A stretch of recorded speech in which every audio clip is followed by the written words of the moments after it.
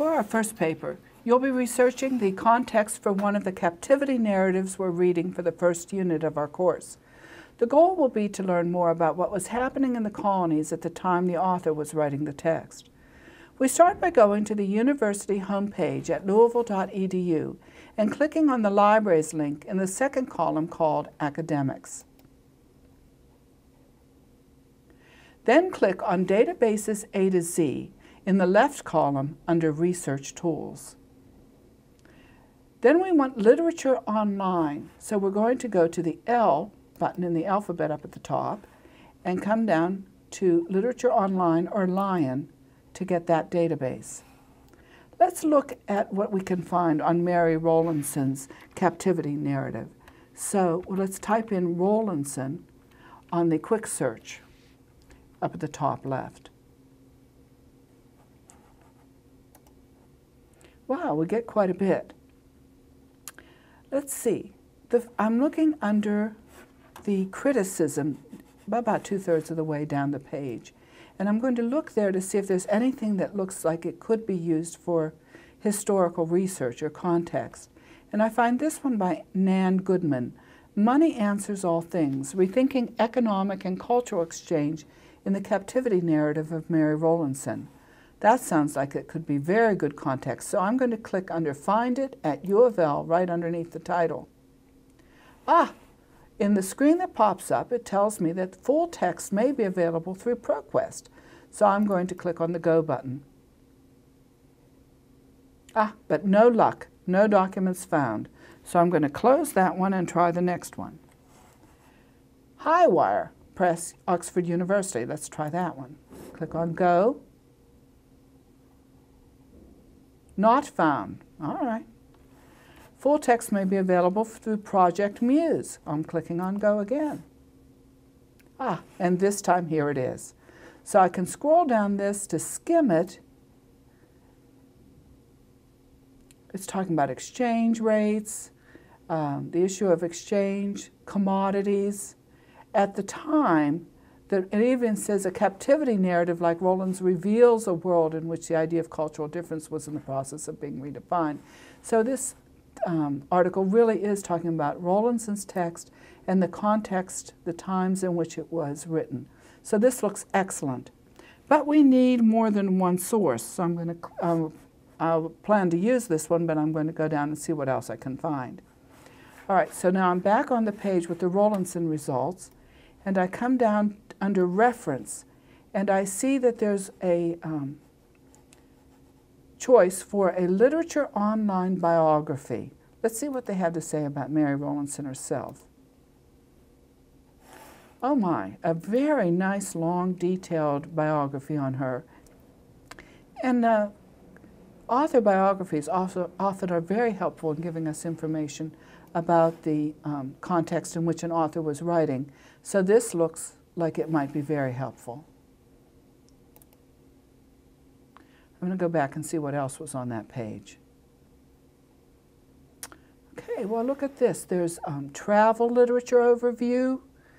There's prose novelistic forms. I don't really think of a captivity narrative as a travel narrative, but, you know, she does move around a lot through the colonies, um, so it might be very appropriate and find out what was, else was being written in that genre.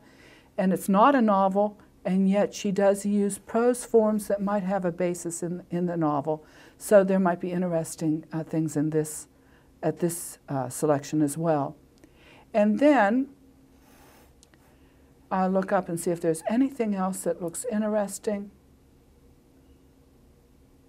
There's some of her poetry, but I don't feel like that would be helpful for context, historical context. And so I think we're done with literature online. But that turned out to be very helpful.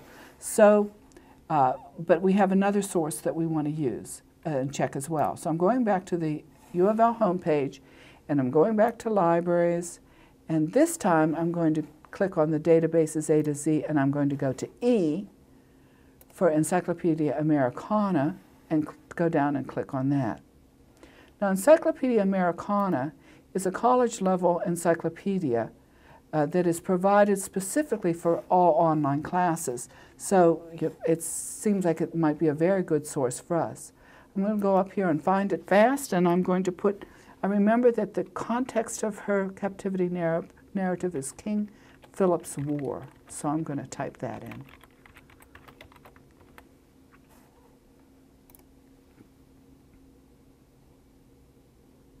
Wow, 60,984 documents come up, a few more than I feel I need.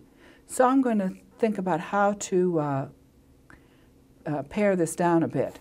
I look over here on the left and I see that there's actually four encyclopedias that are being, uh, being searched. I know that the Encyclopedia Americana is the college level encyclopedia.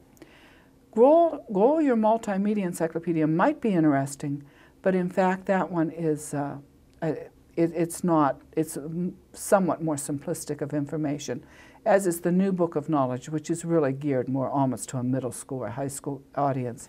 Amazing Animals I don't know much about, but I'm not feeling like there'd be that much in there for us for Mary Rowlandson. So I want just the Encyclopedia Americana entries.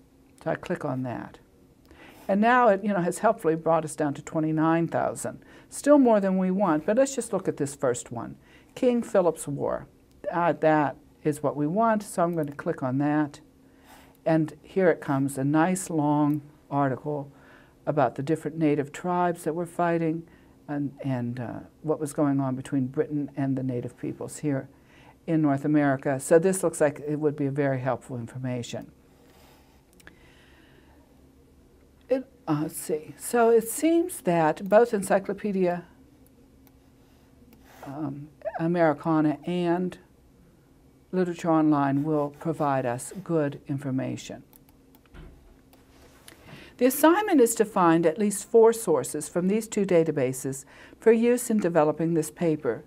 If you have any questions about the process and about research options, you can either email our embedded research librarian, Robert Detmering, at robert.detmering, D-E-T-M-E-R-I-N-G,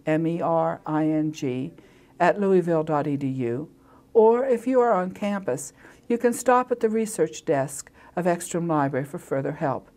And as always, you can contact me or ask questions on our course blog.